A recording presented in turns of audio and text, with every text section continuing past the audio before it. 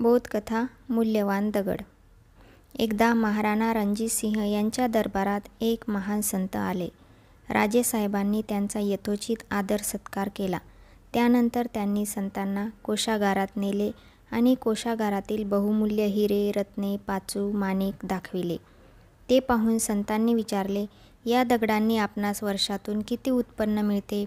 रणजितसिंह म्हणाले, उत्पन्न तर काहीच मिळत नाही, परंतु त्याच्या रक्षणासाठी मात्र बराच खर्च करावा लागतो.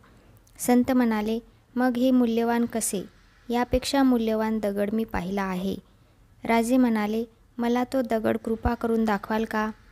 अवश्य, अगदी आत्ताच चला. संत म्हणाले. संतांनी राजाला जवळच्या एका गावात आणले. एका झोपडीत नेले. तेथे एक म्हातारी दगडाच्या जात्यावर गहू दळत होती.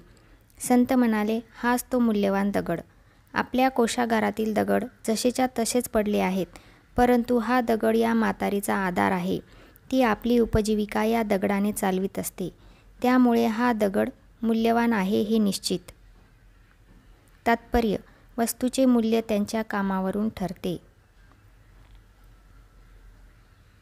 Please subscribe my channel and thanks for watching.